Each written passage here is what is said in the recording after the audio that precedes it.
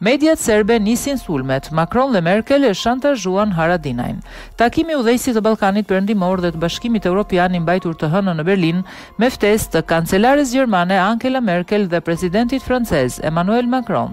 dhe çështja e Kosovës në fokus shënuan një varg situatash të tensionuara që ishin gati të përshkallëzoheshin në konflikt të hapur, shkruan gazeta serbe Blic, duke u thirrur nga burimet e veta, e përditshmja beogradase pohon se protagonist i të gjitha konflikteve të sipërpërmendura ishte kryeministri i Kosovës Ramush Haradinaj, i cili sipas gazetës fillimisht është përplasur me Macron dhe më pas në disa raste me presidentin kosovar Hashim Thaçi. Sipas Blicit presidenti i Francës personalisht ka këmbgulur dhe është munduar t'i bëjë trysni Haradinajt që Prishtina t'heqë taksën prej njëqind për qind ndaj produkteve nga Serbia dhe Bosnjë-Hercegovina, e cila vazhdon të jetë në fuqi pikërisht për shkak të, siç thotë kjo gazetë, kokëforcisë së Haradinajt. Gjithashtu, Blic pretendon të ketë mësuar se oferta që është bërë atij ka qenë liberalizim i vizave në shkëmbim të një moratoriumi gjashtë muajsh për taksën. Megjithatë, Haradinaj ka refuzuar ofertën e pretenduar sipas të përditshmes beogradase. Macron, sipas burimeve diplomatike të Blicit, është treguar i rreptë pas asaj që gazeta serbe ka quajtur sjellje arrogante të udhëheqësit nga Prishtina.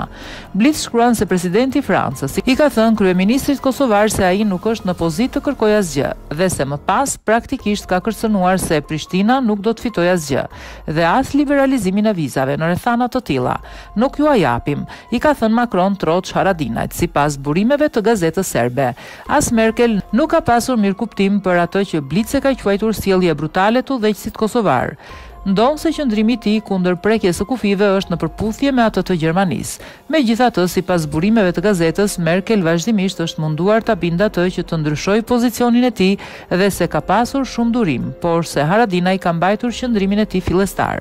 Konflikti, siç i quan Blic, me të njëjtin protagonist nuk ka përfunduar aty. Një qëndrim të kundërt me Haradinaj në Berlin, ka shfaqur dhe presidenti i Kosovës Hashim Thaçi dhe dy krerë të shtetit, qenë para një konflikti të hapur gjatë tërë kohës. Nuk është sekret, thotë gazetarja beogradase, që Thaçi nuk e mbron taksën në mënyrë aq agresive sa Haradinaj, ndërsa ai ka shprehur gatishmërinë ta shfuqizojë atë. Thaçi, megjithatë, në anën tjetër, ka folur haptas për të ashtuquajturin korrigjim të kufijve, por edhe për nevojën për rol udhëheqës të Amerikës